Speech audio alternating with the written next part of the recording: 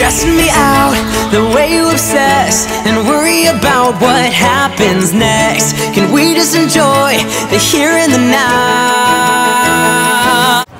There's a cute little petting zoo and like a grassy patch of area and I wanted to like stare at the animals but I have to go to class so I'm gonna insert my pics I mean my videos because I didn't take any pics but yeah I'm gonna insert my videos right here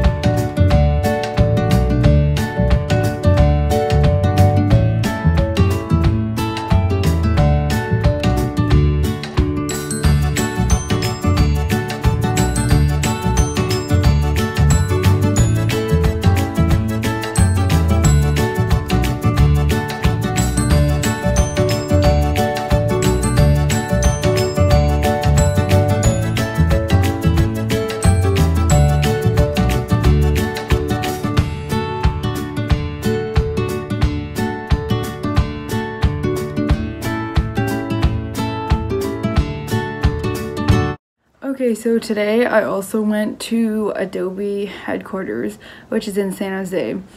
And I went with my friend and it's like the event was like a creative jam where I actually got a little hex badge. I'm not sure if you know what a hex badge is, but here wait, let me try and focus on it. But yeah.